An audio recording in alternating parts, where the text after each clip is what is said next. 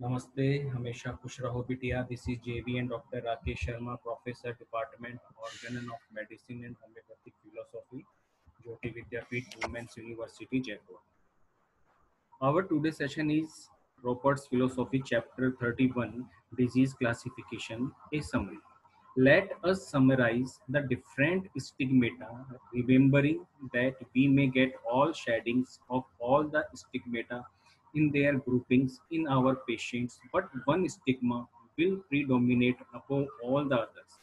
They all have their characteristic differences.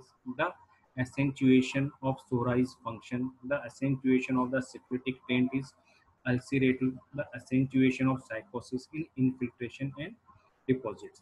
When suppressed, the syphilitic stigma spends itself on the meninges of the brain and affects the larynx and throat in general, the eyes, the bones, and the periosteum.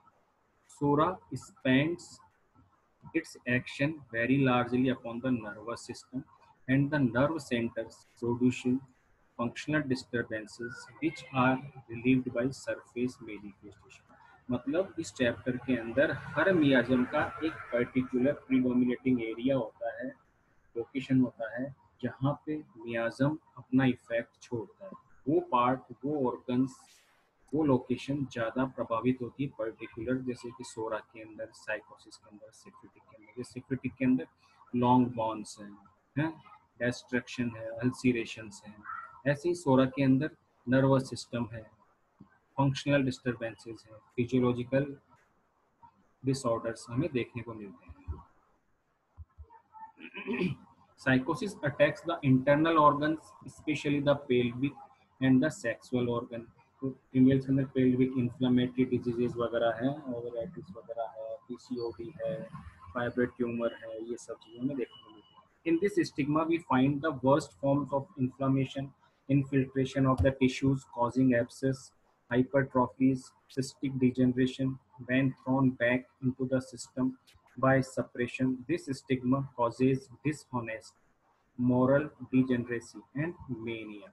इनकी वजह से आगे जाके insanity mania वगैरह loss of moral sense ये सब आगे बनने लग जाते हैं in treating patients suffering from these stigmata this classification is of inestimable value or it immediately throws the simillimum into a class of remedies corresponding with the accentuation of the stigma that is outstanding in the case. And this should be considered in the totality. It will often throw light upon the choice a simillimum that is applicable to the individual case and stage of development. when we are considering a case manifesting mixed stigmata, there is always one more in prominent and this will be the one requiring relief. When this is relieved by next in prominent must be cared for until the patient is freed from the inheritance of generation generations. So this session powered by digital version 2.0 jyoti vidyapeeth women's university i hope you are satisfied with my digital session. If you have any query please mention in comment box. I will resolve it. Thank you